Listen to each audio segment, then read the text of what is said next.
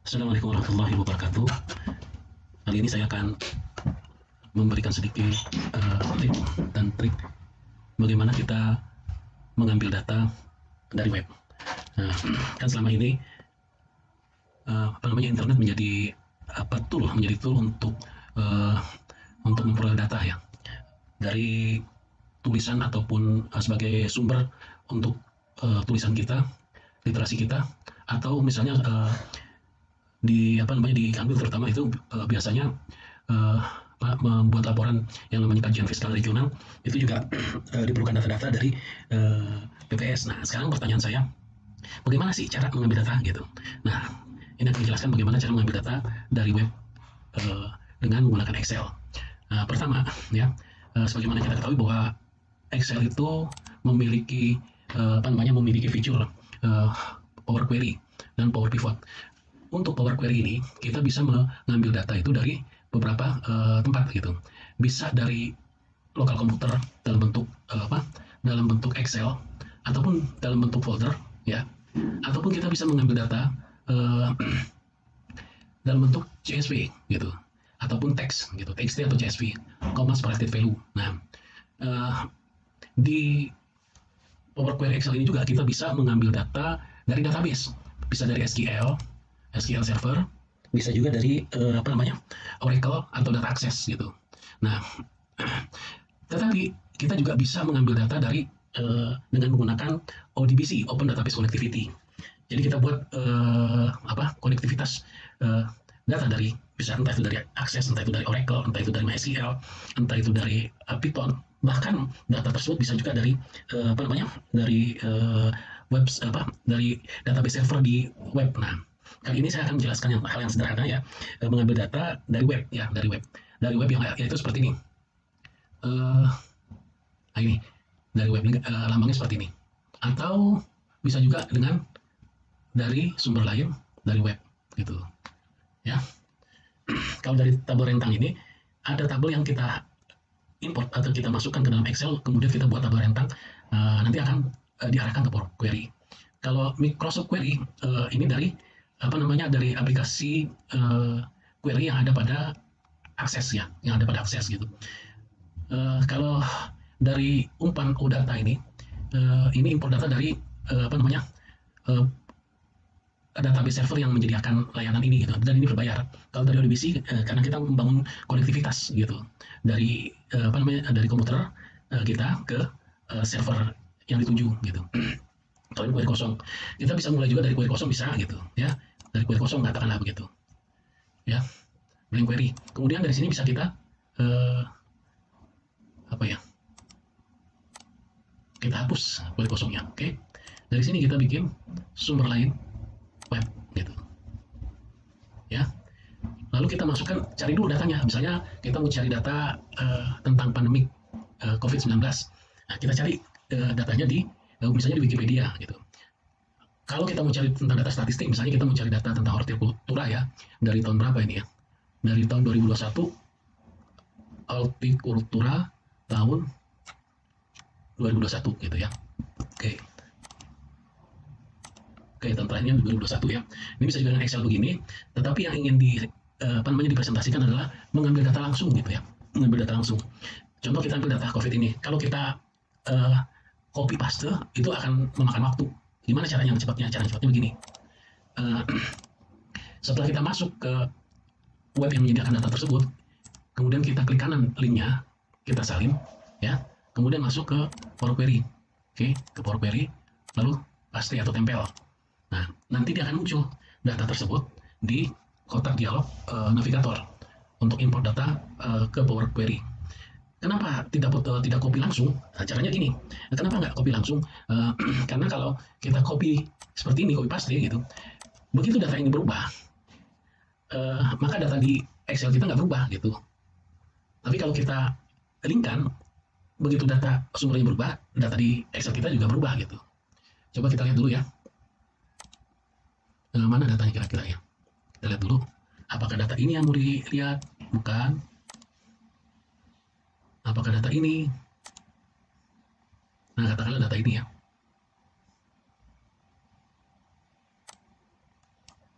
Data ini ya kasus sembuh. Berdasarkan negara oke yang Indonesia aja lah. Kasus tanggal penambahan sebaran kesembuhan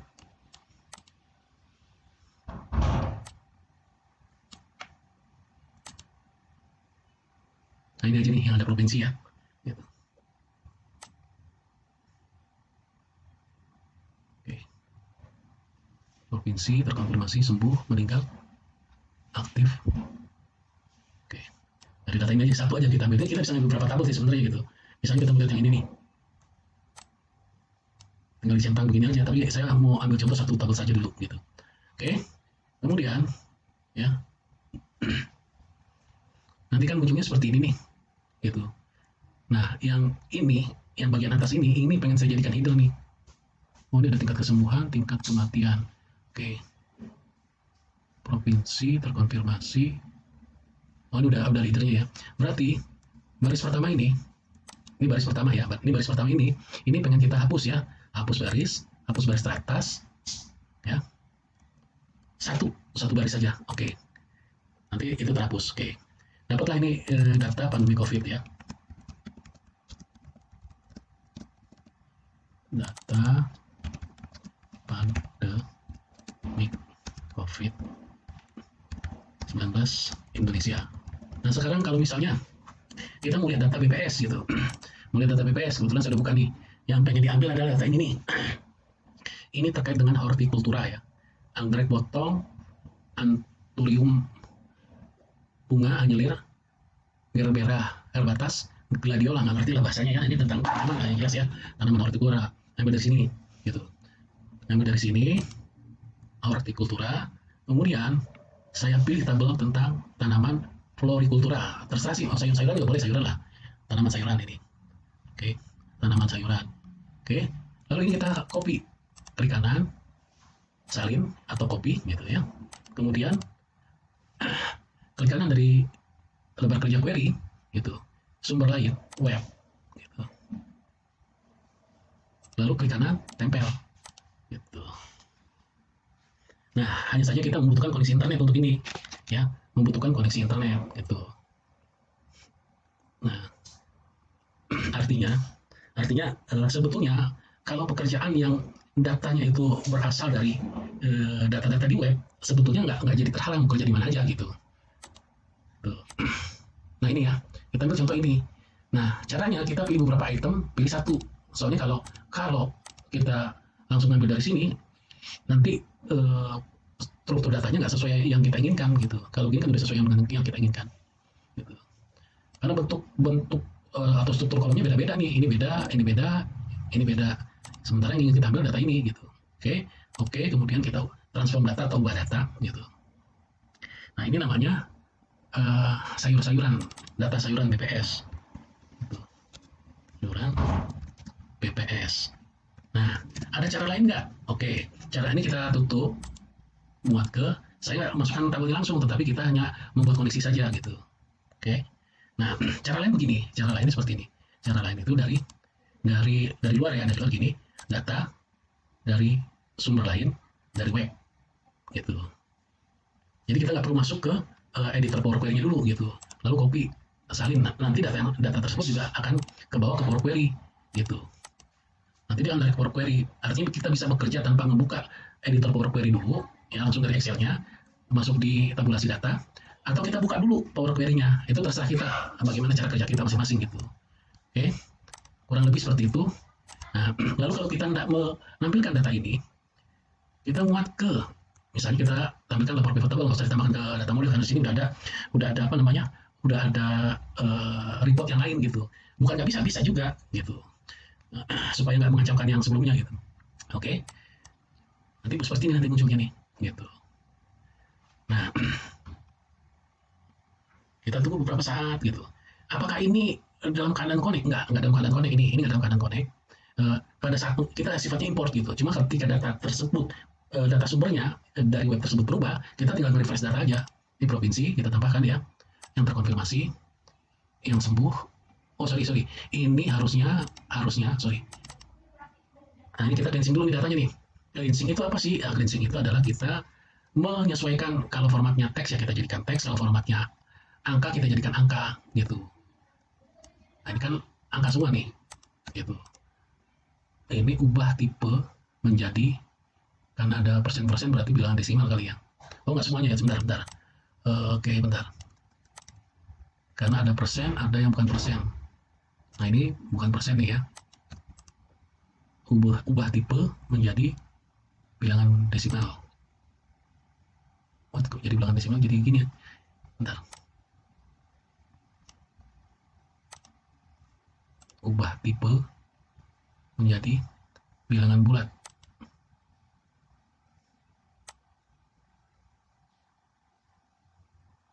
Oke, ini persen. Ubah tipe, ini persen. Persen mana ya? Persentase. Oke, ini teks. Oke, uh, kemudian uh, selain format data, tipe data, kita juga menyesuaikan penulisannya gitu. Misalnya, misalnya gini, uh, format datanya ini ingin ditransformasi ya. Format datanya ingin kapitalisasikan setiap kata. Artinya huruf pertama dikasih huruf besar, huruf berikutnya apa uh, huruf berikutnya huruf kecil seperti ini. Oke. Okay? Jadi disamakan formatnya gitu. Oke. Okay? Setelah itu, setelah itu kemudian ya tutup muat. Nah, baru dimasukkan ke dalam pivot gitu. Sehingga terkonfirmasi sembuh meninggal aktif dan seterusnya itu yang dia merupakan apa merupakan nilai gitu bukan label gitu dia akan masuk ke dalam nilai gitu kalau tadi kan enggak. Nah, kayak begini nih. Sembuh, meninggal, aktif, kasus, tingkat kesembuhan, tingkat kematian. Oke? Nanti jadi seperti ini nih. Gitu. Nah, yang ini dia kan persen nih, persen. Ini persen. Ini persen. Nah, ini jadi gini. Ya kan? Kasih dua, dua uh, di belakang koma, dua digit di belakang koma. Oke, kemudian ini kita hapus nih jumlah dari ini. Ctrl C Ctrl F Ctrl V ganti spasi ganti semua. Sehingga tidak ada muncul jumlah-jumlah lagi gitu. Nah sekarang pertanyaannya adalah kita ini mau menampilkan data ini dalam bentuk peta.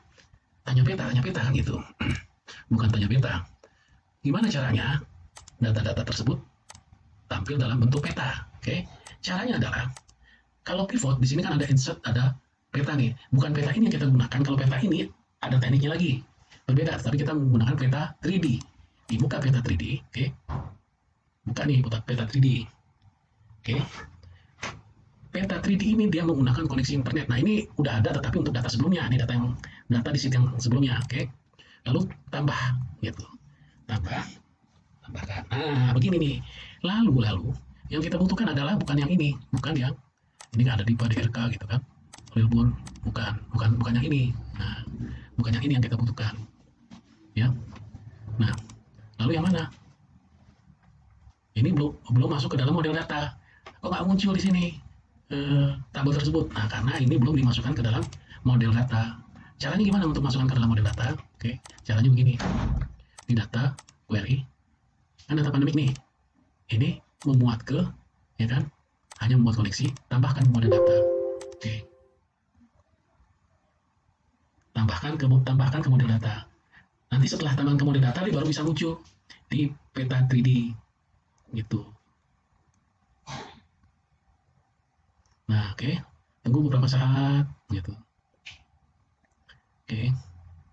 Nah, sudah ya. Sudah logikanya dia harus masuk ke uh, power pivot logikanya, tetapi kita perlu power pivot lagi nih sekarang. Ini hanya untuk menunjukkan dia harus masuk sini. Ada masuk nih data pandemik COVID-19 Indonesia gitu. Oke. Okay. Nah, kemudian kemudian kemudian adalah uh, kita buat yang namanya uh, pivot, membuat ke laporan pivot table. Oke. Okay.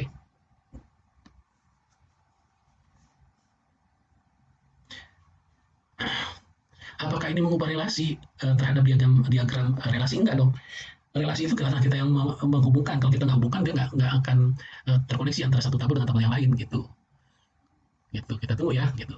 Nah muncullah data pandemik ini ya. Data pandemik. Nah ini provinsi nah ini baru ini terkonfirmasi sembuh. Aduh lamanya. Oke aktif. Kasus. Tingkat kesembuhan. Tingkat kematian. Oke. Oke oke dong oke. Nah ini Ctrl F ganti semua oke. Lalu kita sesuaikan yang angka ke angka. Nah ini kan udah angka nih. Nah ini jadikan persentase gitu oke. Ini biar nggak terlalu besar bentuk kolomnya kita naikkan ke atas gitu. Biar rapi kita giniin gitu oke.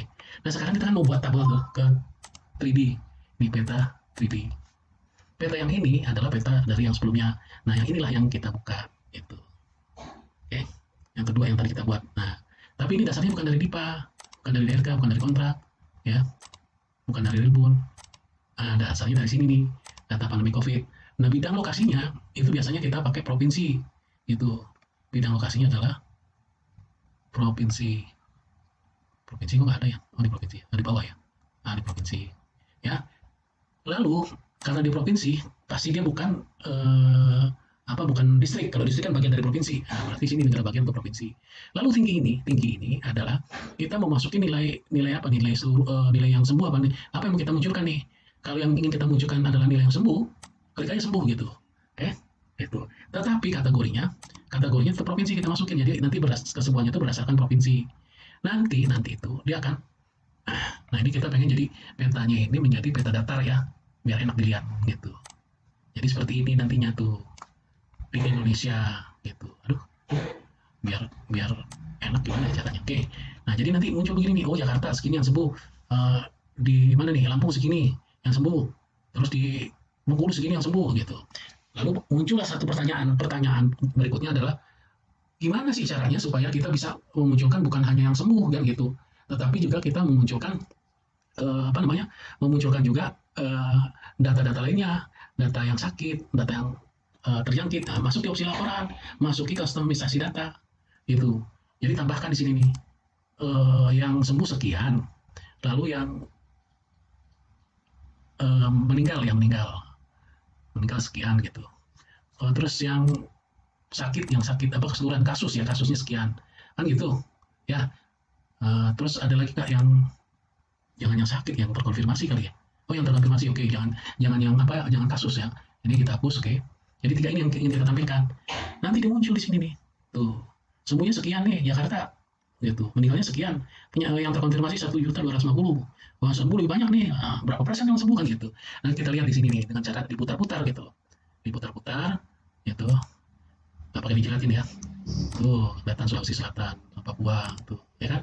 Oke demikian kurang lebih gitu. Semoga menjadi manfaat. Uh, berikutnya uh, saya ucapkan assalamualaikum warahmatullahi wabarakatuh